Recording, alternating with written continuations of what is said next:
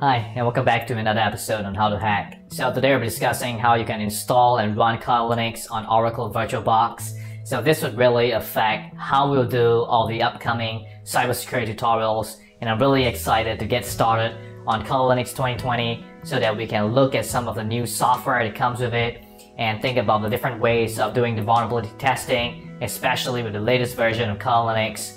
So without further ado, let's get started on today's tutorial. So what we have here is a Windows 10 running and you can open up any of your favorite browser. So in this case, I will open up Chrome. So it could be Firefox or Internet Explorer. And I can go into google.com and I can enter my favorite operating system, Kali Linux ISO. And we can go into the official kalilinux.org page. So it's by offensive security.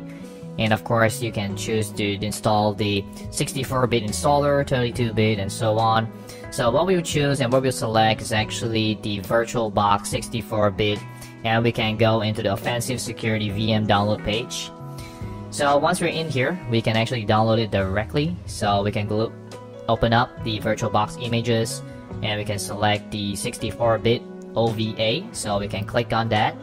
So this will allow us to download it into the download page. So we'll click save. So there will be an OVA file.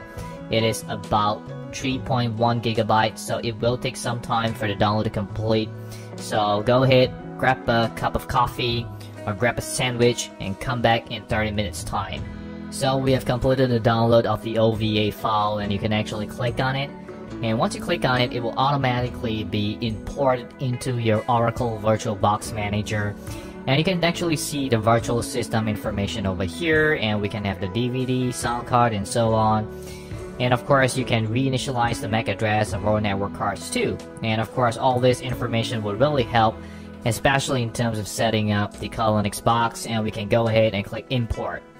And of course, here we have the software license agreement that we have to agree with. So we can go ahead and click agree on that. And of course, once we have all this information being imported, it will take about a minute, maybe two minutes, three minutes. And if you're using a hard disk drive, it could take all the way up to a couple of hours. So once we have done importing the virtual disk image, we'll be really really excited to get started on Kali Linux 2020.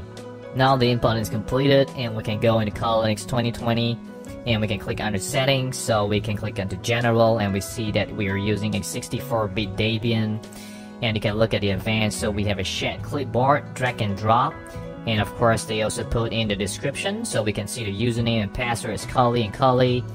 So we will not enable encryption at all. So system-wise, we have a base memory of 248 megabyte, and we have a processor, of LS2 processor, so that will really help speed things up. And in terms of display, we got a video memory of 128 megabyte, and of course one cow of monitor and so on. Storage-wise, pretty straightforward. We got a SATA on Kali Linux 2020. And of course I've disabled audio because I don't really want to enable audio on my virtual machines. And network wise we're using bridge adapter so we'll get an independent IP address coming from a DHCP list. Serial ports I'm not using and USB I have to select 1.1 because my motherboard is for 1.1 so it depends on what kind of setup you have for your motherboard. So chances are you may be using 2.0 or 3.0 depending on what's available in terms of the USB controller. Chat folder we have nothing, user interface pretty much standard on this. So once we're okay, we're good to go, go ahead and click start. So I'm really excited because we'll be moving all of our tutorials into Linux 2020 and this is gonna be a great deal for us because it will really be helpful in terms of setting up new tutorials, new cybersecurity learnings for you. So now we are loading into Linux 2020 and we are loading it, booting up. Very nice boot up interface now that we can see over there and we'll be prompt for the username and password. So go ahead and enter Kali for the username and password, login, and of course let's see what we get over here. So we see a lot of details. It's a little small, so let's see whether we can maximize it and see more things. Yes, we do, and we can see it's a very, very nice, very different graphical user interface. Everything looks a lot sharper, very nice. I really like it a lot. So here we got the usual stuff, information gathering, vulnerability assessment, web application analysis, database assessment, password attacks. I think we can install a lot more database assessment too. Wireless attacks, Fern, Craig, everything is there. Bettercap, definitely we need to install that too. Reverse engineering, I think there's a lot more things we can put in.